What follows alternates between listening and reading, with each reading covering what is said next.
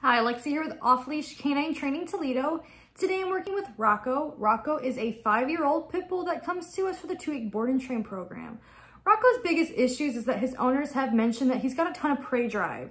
However, um, his prey drive cannot be controlled. They mentioned that before they dropped him off to me that he actually had gotten into a fight with an animal and they don't know which one it was or what kind of animal it was. All they know is that they heard the commotion outside and they walked out there and his face was all scratched up.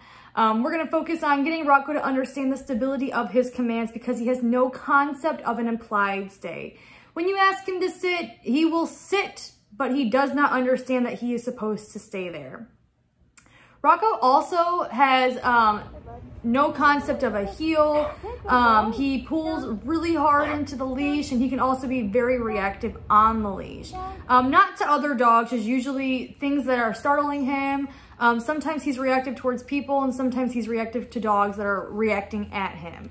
Um, so we're gonna teach him just how to be redirected back into heel position and how to be neutral in those environments when um, there could potentially be a reaction.